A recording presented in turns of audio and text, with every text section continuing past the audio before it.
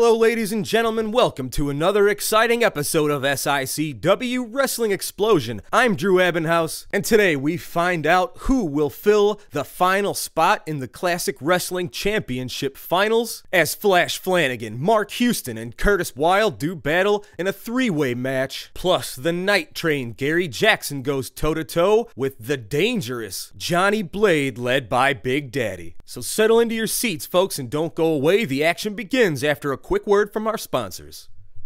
Unique and affordable gifts and collectibles on the internet are available at the Black Bear Haversack Trading Post. Go to blackbearhaversack.com. Semi-precious stones, bone horn and soapstone items, abalone shells, genuine coyote and water buffalo teeth pendants, products for Civil War, medieval, and Renaissance reenactments, and so much more. For a 10% discount, mention SICW number 7 when you place your order. It's blackbearhaversack.com for top quality at reduced prices. From the World Series champion Tigers in 45 to the Gateway Grizzlies to the 03 State Tournament Belleville East Lancers. A tradition in baseball and an even longer tradition in fine furniture and service. Miller Furniture, 1004 East Main in Belleville. This one is on the way, and we appreciate everybody joining us for SICW Wrestling Explosion. I've got a special guest with me here at ringside while this one gets off. My good friend Scott Zai from New Breed Wrestling. Scott, it's always a pleasure to have you at SICW. Thank you, Herb. It's an honor to be here at SICW. I've heard a lot about your company, and I've been looking at your talent. You got some top-notch guys here, man. Mr. Gary Jackson, I've known him way back. Uh, Mr. Blade, not too familiar with, but he looks like a definite force to be reckoned with here. Well, and that's what uh, what it's all about. And you know, we've talked about a little bit before, Scott. Uh, I was down to one of your shows uh, a month or so ago, and what a, what a great opportunity down. And I think uh, uh, Grove, uh, Uh, Fair Grove, Fair Missouri. Grove, Missouri. Yes, sir. A great fundraiser you did there, and you've got another show coming up. I think uh, the end of this month uh, in uh, Eldon, Missouri, is it? Eldon, Or- Missouri, actually next Saturday, the 27th, we are honoring uh, military and all veterans. So if you're down in the Lake of the Ozarks, Missouri part of it, come check us out. Well, and that's what it's all about, uh, you know. And it's it's no secret. Uh, the independent uh, wrestling circuit uh, is, is a hard business, but you know you you've been in it, and uh, you, you had the uh, ability years ago to work with Harley Race, and not too many people can say that. No, uh, working with Mr. Race is truly a, a good belief coming into this business. Uh, Harley puts out a lot of top-notch guys. They come in, he trains them, and they go on to bigger, better things. Trevor Murdoch, for one, went to WWE for five years, was a three-time WWE Tag Team Champion. Came out of the Harley Race training camp in uh, Troy, Missouri. Well, and that's what it is, and you know it's uh, it's guys like that that uh, they get out there and do a great job, and you know we're not trying to compete with the WWE or any of the other federations, as you well know. We we do our thing, and uh, uh, it's really been an opportunity uh, and a pleasure for us to get to know you. I know you make that long trip up here uh, for the last several months, and uh, I really appreciate that. And uh, like I said, I just uh, I hope that New Breed uh, continues to grow, and uh, as we watch Gary Jackson work on that outstretched arm of Johnny Blade, I know it's and you know it's it's a rough business. Yeah, it's definitely a rough business here. But you know you got a you got a good locker room there, and, and that's what it's all about. And uh, oh, a nice arm drag Yeah. coming out of that Beautiful corner. arm drag. Beautiful arm drag there from Mr. Jackson. Well, and uh, the gorgeous one, Gary Jackson's been with SICW a long, long time. He also wrestles over at South Broadway Athletic Club, but back in the day, he, he worked for all the major federations. Uh, he had matches with Razor Ramon, Kamala the Ugandan Giant. Uh, uh, uh, you just name them, they're out there. Bam Bam Bigelow. I just saw a match the other day of him with it. Uh, and here he is in 2017, and, and he just retired about a year ago from the military, and uh, he still gets in that ring, and he can he can rumble with the best of them. Well, I tell you, Herb, go Gary. He look he looks top shape, man. Looks like he takes real good care of himself. Uh, good physical physique. Man still moves very good in the square circle here. And right now, Johnny Blade goes from behind. Referee Nick Rednire checking to make sure it doesn't slip down into hold. Fans, we want to remind you wrestling returns to the East Carondelet Community Center on Saturday night, June the 17th, for our Father's Day Spectacular. And you'll hear a lot more about that over the next couple of weeks coming up. Oh, a reverse elbow finds its mark on Johnny Blade. This Johnny Blade has been victorious the last several outings. He's developed that figure four leg lock, and nobody's been able to break that, and uh, he's really mastered that.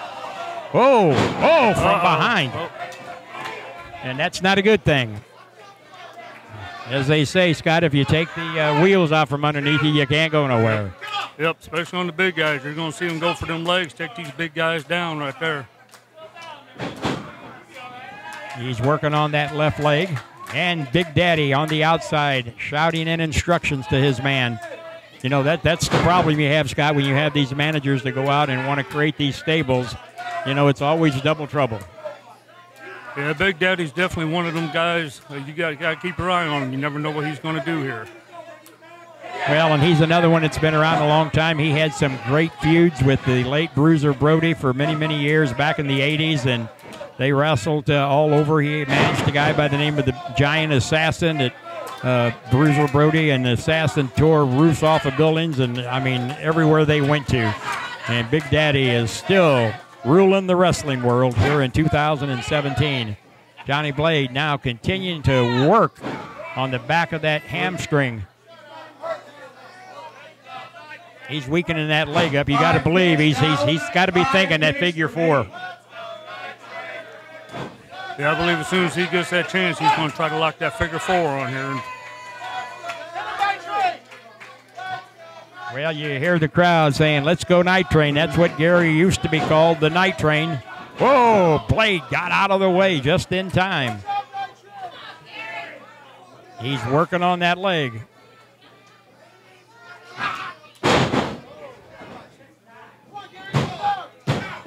Oh, a two count.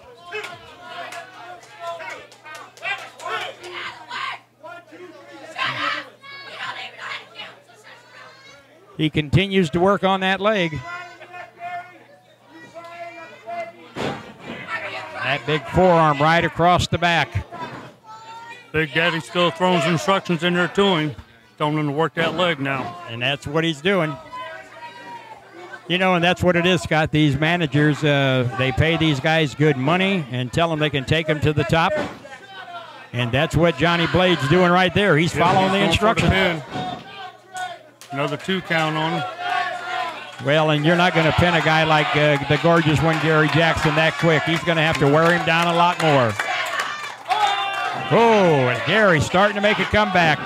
Elbows to the midsection. Whoa, a vicious Nice uppercut. That was beautiful. You can tell that hamstring's really hurting, you know. You can see him limping a little bit in there. Oh yeah, right now that, that hamstring is tightened up on him, and that's why he's got a favor like that. Oh, he couldn't even stand.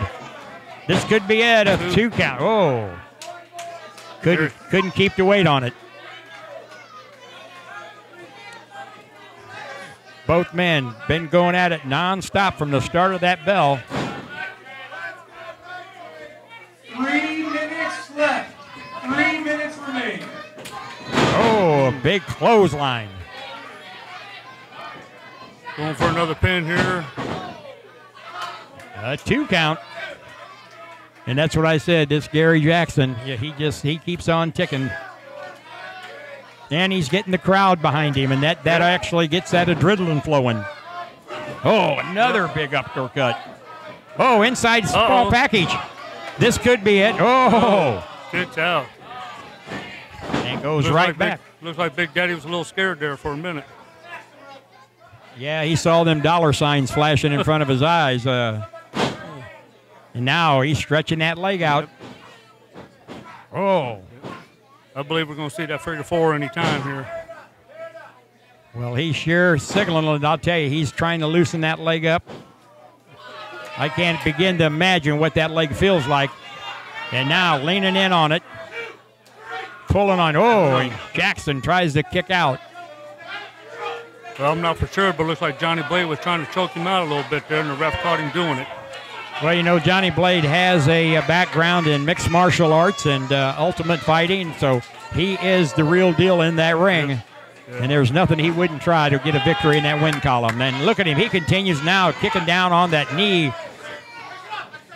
Referee telling him let the guy out of the corner, but now looks like Big Daddy. There you go. Add an Yeah. insult to injury there. That's what I was saying. You got to watch Big Daddy at all times. You never know when he's going to sneak up in there and do something. Now he helps him out of that corner, backs him up to the rope. Irish whips him. Oh, it's a reversal, though. Oh, and he oh. held on. There he goes. Oh, There Gary made a mistake. Here he is. He's wrapping him up. He's going. There's He's wrapping him four. up. He's clamping it on. Got to get that, Oh. toe. There he goes. Oh, he's got oh. it locked in. Oh, no. Will Gary Jackson tap out to this figure Oh. four? He stays in it too long. It can tear that knee up. I can tell you, he's going to try to reverse it. If anybody can do it, it's going to be Gary Jackson. He is really. No, he got the shoulders up. He's trying to reverse it. I can't believe Mr. Jackson staying in this long with that figure four. He's trying. He's, he's trying to reverse it. Johnny Blade keeps pulling it back over. Is he going to be able to reverse it? If he can, he'll be the first one that can. There you go. You see He- Johnny Blade grab that toe. over. There you go. There's the there's the leverage on the toe. Pull him back on it.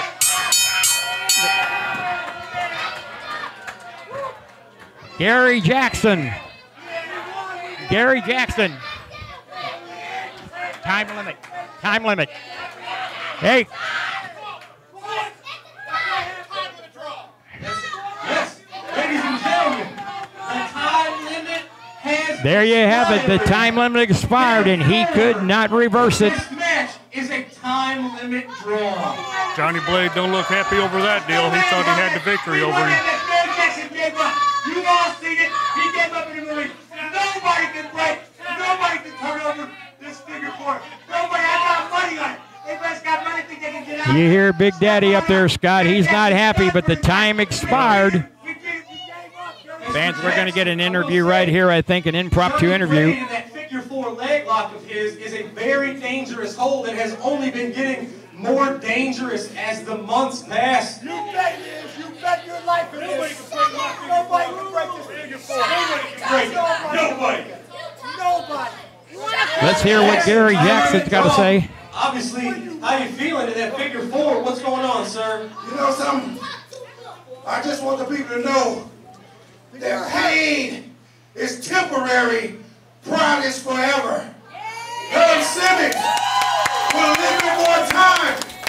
I could have broke that figure four a leg lock. And I will break that figure four a leg lock. And when I break that figure four a leg lock, I'm gonna put you in the gorgeous, gorgeous Gary leg lock. Oh, you hear the challenge there. Gary Jackson saying he can break that figure four. And I'm gonna snap that knee. One, two, three, snap, crackle, pop. It's gonna be over with. Herb Simmons, I can break that hole. No way, Herb Simmons. But nobody No way. I got can money. break the great with gorgeous Gary leg lock. Well, I'll tell you, I think this is going to be one that we're going to have to see. With a little more time, what would you think of that? I say, cry me a river, Jackson. How's your leg feel right now? Boy, oh boy. You didn't break out of it tonight, and you never will. You're lucky that bell ring. It saved your ass. Wrestling fans, join SICW as we return to the East Carondelet Community Center Saturday night, June the 17th, at a new start time of doors at 6 o'clock, bell at 7. The new classic wrestling champion, Chris Hargis, takes on Battle Royal King Sean Vincent, plus Cowboy Mark Houston versus Flash Flanagan one on one. For tickets, call 618 286 4848. That's 618 286 4848. Farm music and fun. The place to party is Pop's nightclub and concert venue in Sauget. From Bruno Mars of the first U.S. tour of Nickelback to Flogging Molly or the Insane Clown Posse, 30 years of memories pack Pop's concert venue with more made at every news show. And there's a party at Pop's nightclub every night, a melting pot of friends enjoy the best in dance, rock, pop, and top 40 music until 5.30 a.m. Plus add a full game room. Check out all the action at popsrocks.com. Then and now, the place to party is Pops in Belleville Mechanical Incorporated is the place to go for commercial and industrial heating, ventilation, air conditioning, and refrigerating work. Their Union Sheet Metal shop is the most modern, well equipped in southwestern Illinois. Their work on the SIUE Engineering Building won Belleville Mechanical the Madigan Special Merit Award for new construction. Call 233 0081 for information. Belleville Mechanical will fabricate ductwork and custom fittings to your specifications. The highest union quality, superb workmanship, state of the art equipment. Contact Belleville Mechanical. Well, we'll see how it goes. A three way. This will be tricky.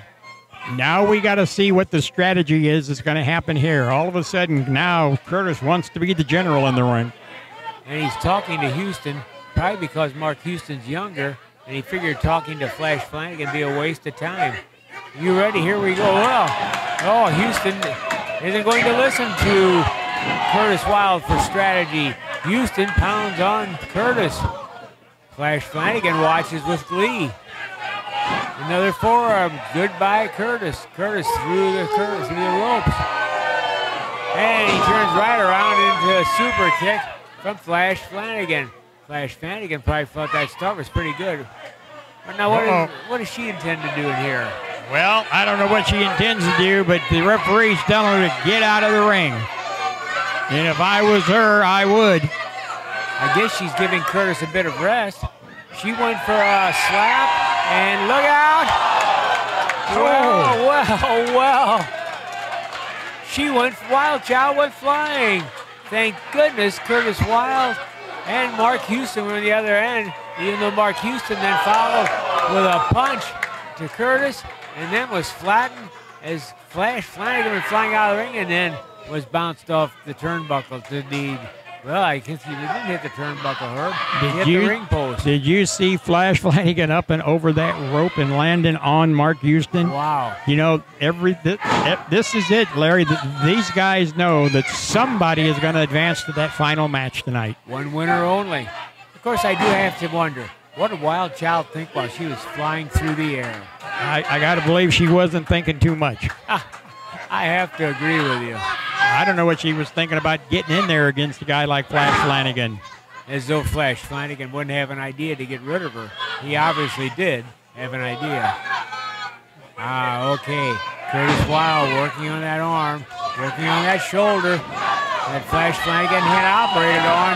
But Flash coming back.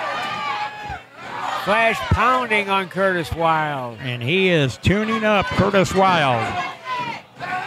Oh, he walks right into a boot to the jaw.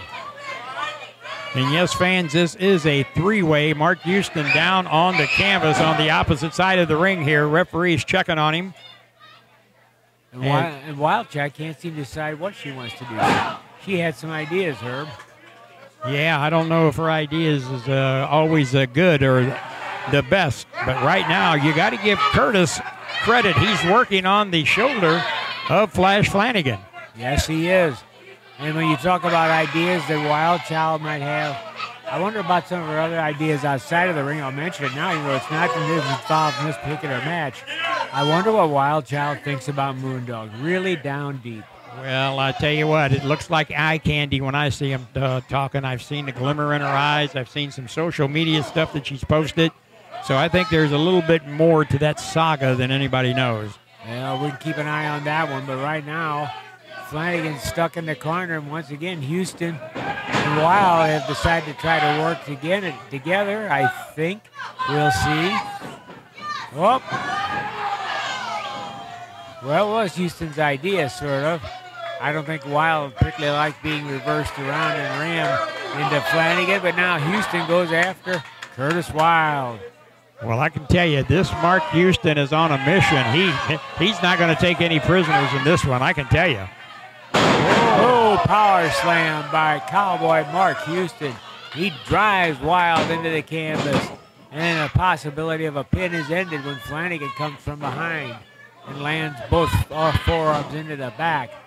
There goes Houston once again, lashing out with the boots. Now sticking it under the throat of Flash Flanagan. Well, you know, Larry, I want to mention, you know, and you mentioned it before off the air that you know this is not my favorite type of match because it doesn't fit with the old school that we've uh, grew up on and known. but uh, we had to come down to this in order to uh, to get to the bottom of the championship. So, uh, but I'll tell you what, I'm pretty impressed with all three of these uh, uh, people in there. I am glad you said that, Herb. It's something you had to do. I understand you didn't particularly like the match. I don't either necessarily, but there's probably a lot of current wrestlers that don't like the ideals that are put forth by a Texas Death Match. So we we did what we had to do. You did what you had to do, and right now, because of it, Flash Flanagan is taking some lumps. Five minutes have elapsed in this contest. Five minutes now. Curtis Wild with a stomp on Flash Flanagan. Don't tell me what to do. That's what Curtis Wild says. Houston flailing away. Curtis Wild saying, look what we're doing. And I'm sure if they could get Flanagan down, they'd try to make a pin. But I just wonder if one of them could settle for trying to make that pin. If one would try to make it without another. Going for the suplex, which is blocked. Beautifully blocked by Flash Flanagan. He's a smart, clever operator inside that ring. He knows how to wrestle. He knows how to do things like that, which is a low drop kick, and I'll give Curtis Wild for that. I'll give him all the credit for that one. It was a good move. I'm smarter than he is, says Curtis Wild. Well, I don't know if he wasn't smart enough to miss that forearm right into the back. And there goes Houston. Bang, bang, bang, right into the rib cage. Flying Beal, Herb. Beautifully done. Well, I said it a moment ago. This Mark Houston is a guy on a mission. He don't care who he's throwing around. He's he's wanting to win this thing. He's wanting to get into that final tonight and go against the icon Chris Hargis. And then all of a sudden, all of a sudden, Flash Flanagan gets in the way and interrupts what Houston was going to try to do. Flash comes flying. Maybe we should call him the Flying Flash Flanagan yanks the hair down. That puts him on the floor. Knee drop into the chest. Try for a pin. Man, Houston breaking it up. That's the biggest problem. There are no allies here.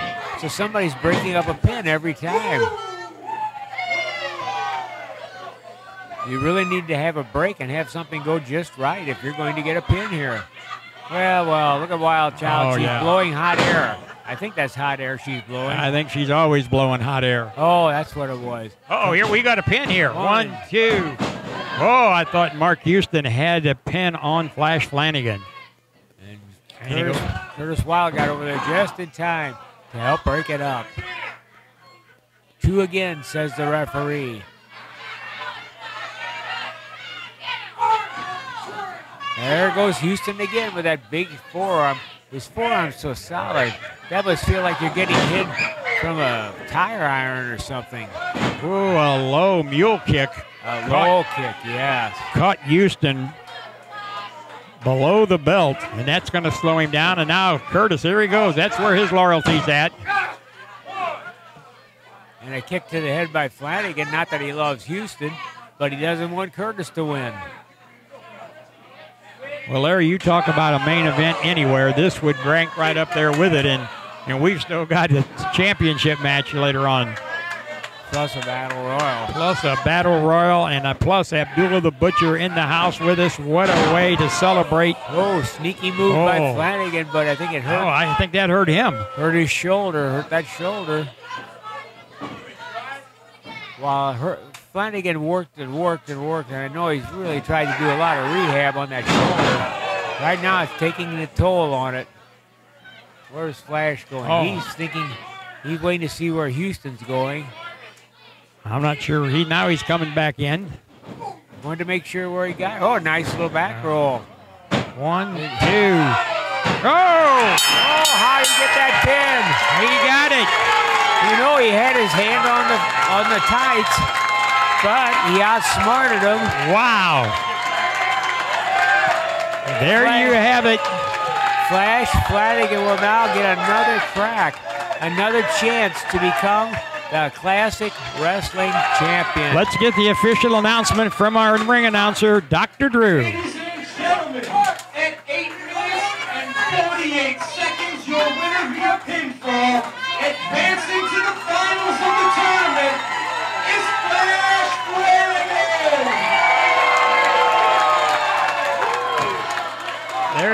Have it. We know now it's going to be the icon Chris Hargis against Flash Flanagan for the SICW title.